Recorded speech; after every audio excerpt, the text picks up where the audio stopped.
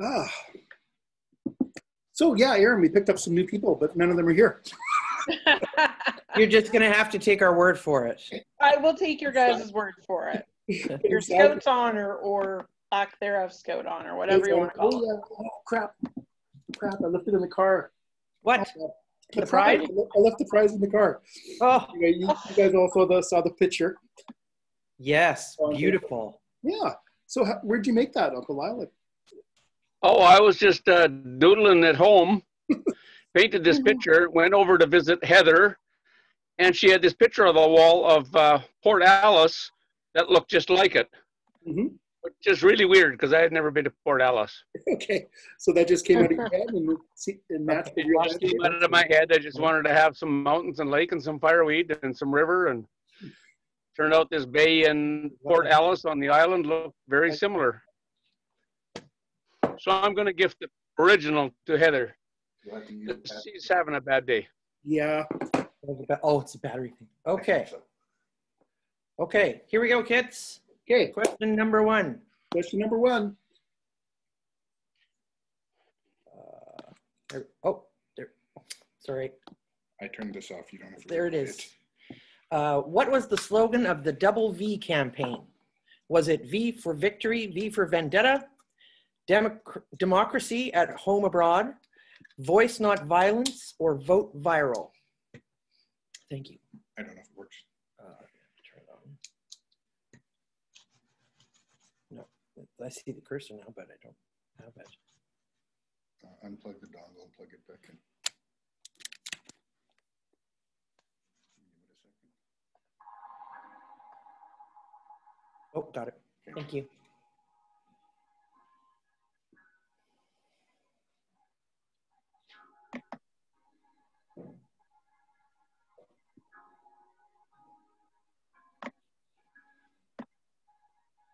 We have two votes.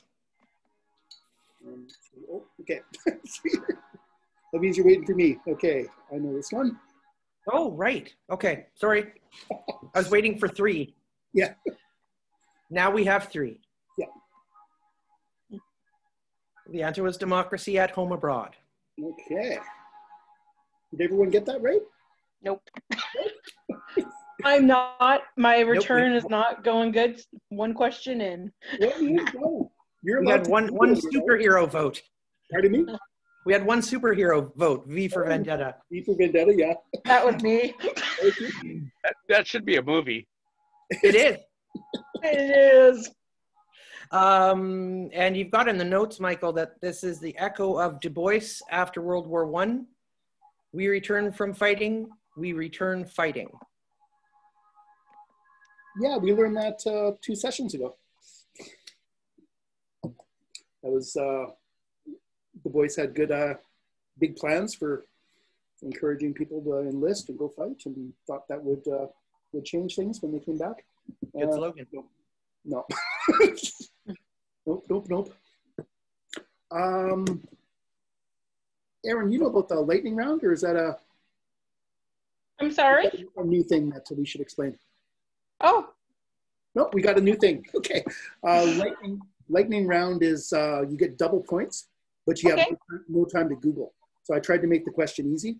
And the lightning round question is, is question 10 at the very end. So okay, cool. if you're behind, don't don't give up because you get you can get double points at the end. Good to know. Yeah. Perfecto. It's like Final Jeopardy. Bet it all. That's right. Bet it all. I, I'm going two thousand dollars on. Okay, question two. Which African American newspaper helped the Double V campaign gain popularity? Pittsburgh Courier, Chicago Defender, Miami Times, or Richmond Planet?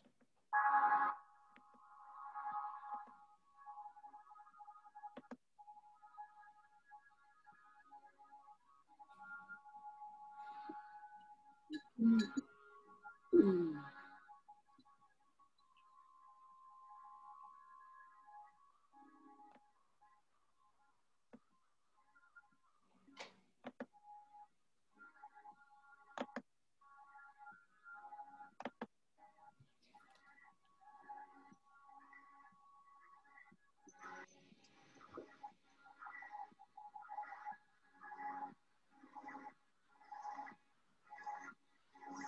Oh my, I forget. I better, I better get on Google.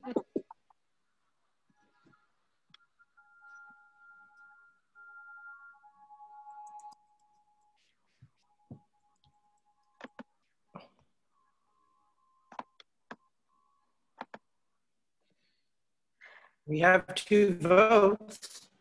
Okay. okay, Pittsburgh Courier. It says, according to Wikipedia.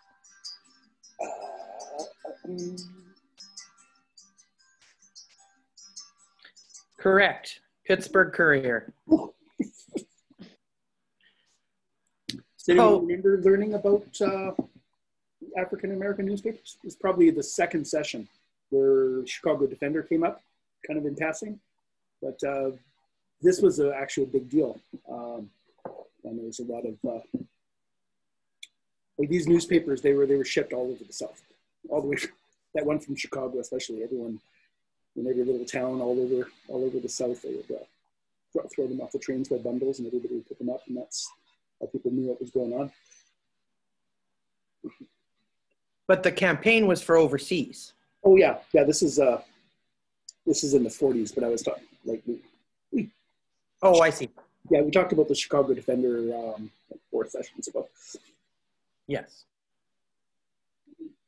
Okay. Uh, question three. What did Truman do that enraged Southern Democrats? He nuked Japan.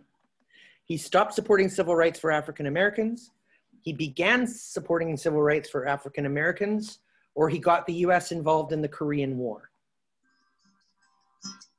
I actually just heard this a couple weeks ago, Hmm. and I cannot remember what it is. It was something I was watching on CNN about um, first ladies. They were Oh, yeah. about it, and I. Oh, Oh, sorry, everybody. oh, we're in a. Oh, okay. I, I think I can fix this, Jen. What's that? I think question three was the lightning round from last week, and everybody's run out of time. Oh, okay. I think I can fix that though.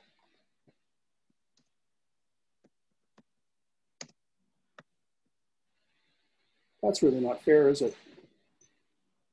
I did double check these this time.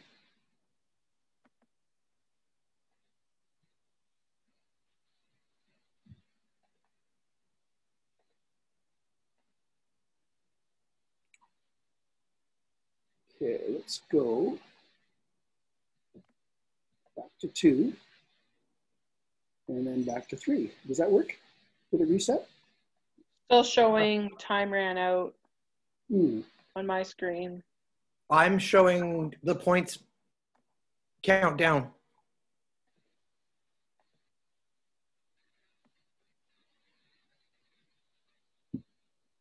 Okay, well that sucks. so nobody got Okay, to well- Live and learn. It, it was he began supporting civil rights for African Americans. Yeah, that's uh, that's what he did. That enraged the Southern Democrats. Uh, he also did nuke Japan, and he also did get U.S. in the Korean War. But it was the I'm, I'm sure they loved him bombing people. See, that's where I was getting confused with. I thought it was C was my original thought, but then D kind of rang something that I'd been listening to. So Yeah, Yeah, if it had anything to do with bombing people and starting wars, I'm sure the Southern Democrat, Southern guys would have loved them.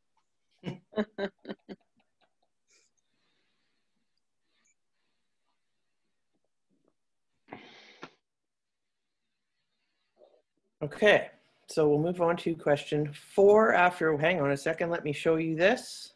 oh Uh-oh. ooh, go Lyle. I'm guessing so far. Yeah. yeah. Yeah, Google hasn't been helpful to me. no. Well, let's try for question four then. When the Democratic Party split, who led the States' Rights Party, also known as the Dixiecrats? Was it Alben W. Barkley, Barry Goldwater, Hugh Lawson White, or Strom Thurmond?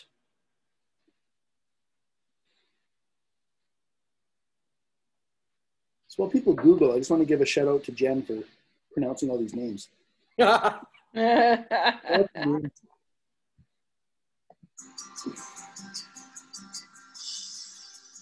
Don't scroll away. I keep every time I'm in Wikipedia, it's telling me to donate the money. It's their yearly camp. yeah.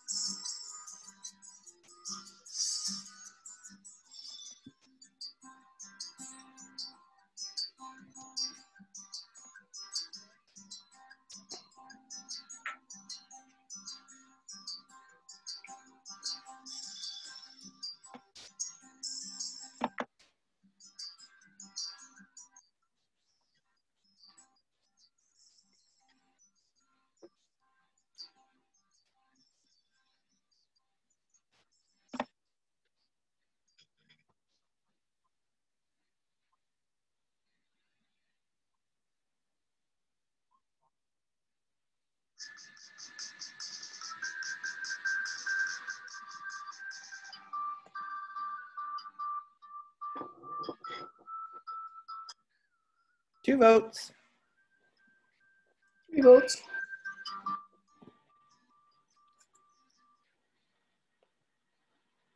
And three. Strom Thurmond. Okay. Did everyone get that? Yes. Interesting, uh, interesting character. While to find out. Guess who um, gave his eulogy? Ooh. Um, Martin Luther Uh, King. Barack Obama. Nope. Uh, Joe Biden. Oh, Interesting. Yeah, I was close, but without going over. yeah. I, I Mhm. it's on YouTube. I listened to it. It's uh, interest, interesting. Uh, say the least. Old, Well, uh, it, was, it wasn't that long ago, 13 years ago, or that's right. Yeah, yeah. seven years ago. Um, Okay. Question five. Oops. In the 1940s, which group pioneered the use of nonviolent direct action in America's civil rights struggle? The National Urban League, the Congress of Racial Equality, the Black Panther Party, or Color of Change?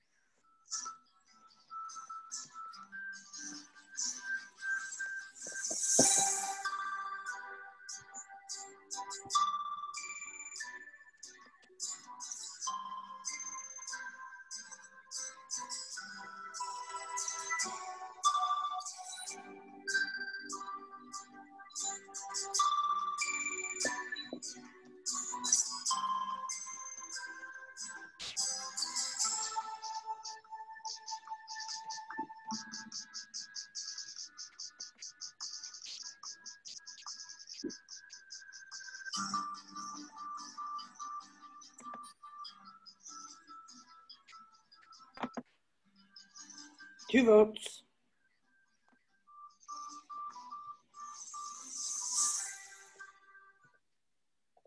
Okay. Well, I'm voting uh, CORE. And that is correct. Show us the standings. You don't mind?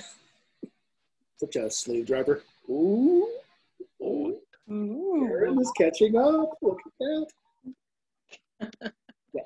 So there were there were two groups that were uh, using this uh, nonviolent direct action in the 40s, and that's kind of when it started. It was this is pretty brand new. It had never been done before.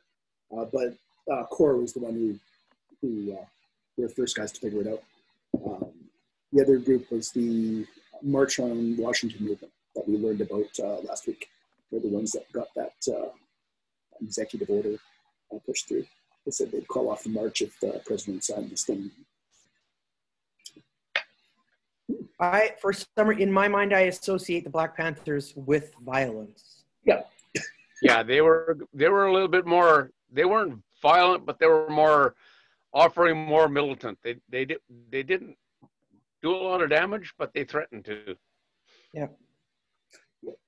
I don't know much about that. Just um, that they were, you know, doing lots of social justice stuff, and that that they were all, you know, Yeah, they, they had the attitude. We got to fight for this. uh, but we'll learn that. I hope coming soon. Be Yes. Okay, question six. Early in his legal career, with which organization did Thurgood Marshall successfully argue a number of cases before the Supreme Court? Was at Howard University's African Law Student Association, his own private practice based in Baltimore, the NAACP's Legal Defense and Educational Fund, or the American Fund for Public Service?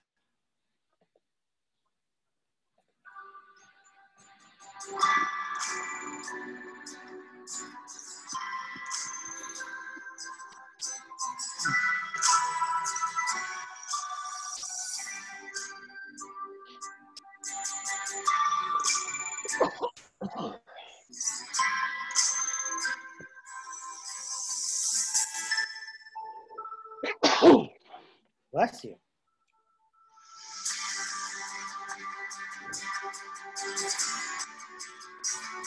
Not that.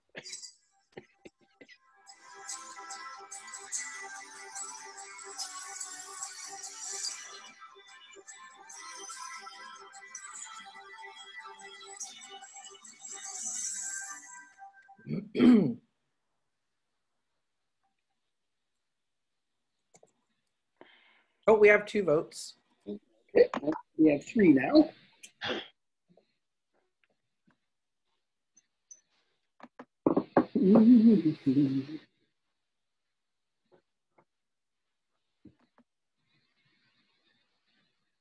And three, the NAACP's Legal Defense and Educational Fund.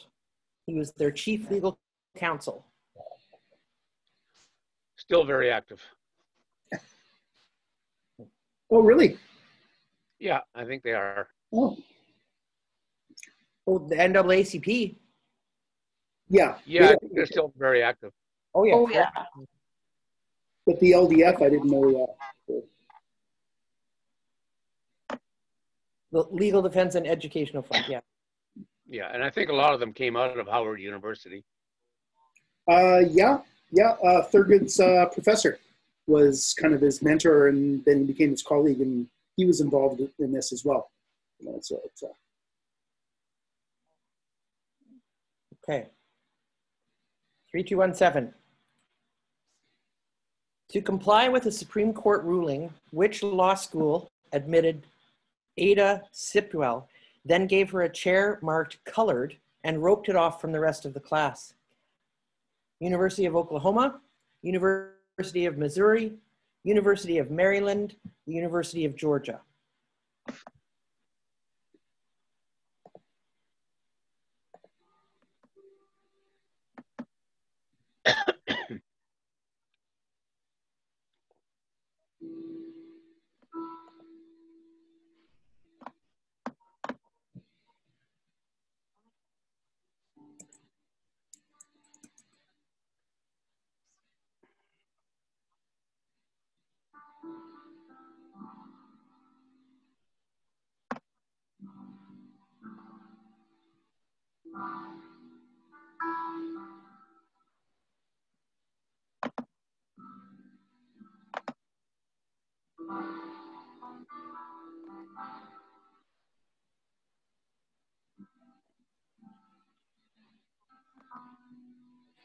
Votes. okay. Uh, and I will vote University of Oklahoma. which is correct. I was going off memory. There we go.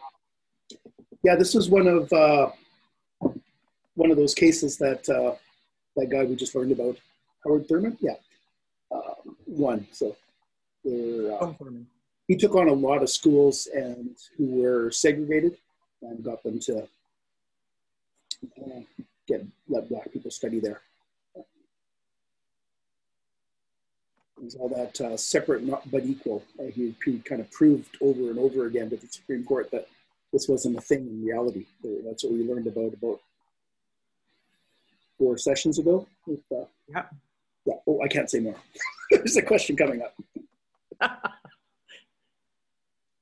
Okay, question eight. Brown versus Board of Education ruling partially overruled who versus who by declaring that the separate but equal notion was on, unconstitutional for American public schools and educational facilities. Dred Scott versus Sandford, United States versus Cruikshank, University of California versus Bakke, Plessy versus Ferguson.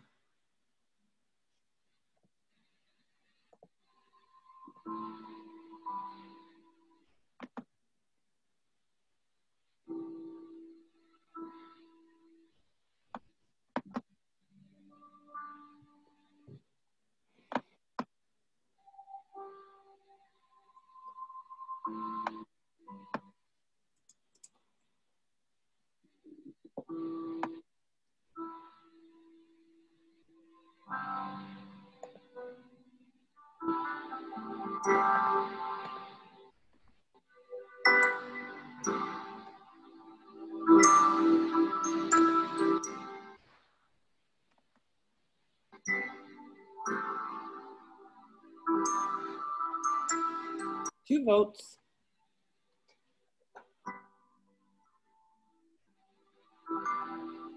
And three. Plessy versus Ferguson.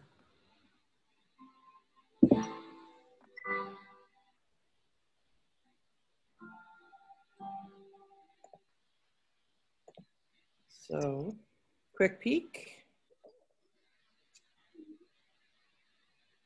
Wow. Yeah. Everyone's within striking distance except me. No, I am too. Yeah, two, lightning round is 200 points. Got double points coming up. Okay, one question before that. Number nine. Oh, This is it. This is the lightning round. Go, go, go, go, go. Oh. I'm so sorry. Rather than accommodate black students in response to Brown versus Board of Education, which three southern states threatened to close their public schools instead? Southern, South Carolina, Georgia, and Mississippi. We have two votes. Yeah, no one's going to wait for, for Jen to read the question. No, and that's okay. I, I thought we had 10 questions. but- well, I was- that's because I said we had 10. Oh, silly me. Yeah. Okay, there you have it, guys. Mm, South Carolina, Georgia, and Mississippi. Oh, Look at this. four points. Wow. Whoa. Four points. Wow. Holy cow. It's like a finger twitch. Mm. wow. That is Awesome. insane. I got to I gotta take a picture of this. Oh, so we can brag. Alrighty. That's insane. Cool. Sorry, this is a little bit. That is a photo finish. it is a photo It finish. definitely the was. There we go. Well, that was fun. That Yeah, was was. fun. Yeah. Learned I learned eat stuff again. fun.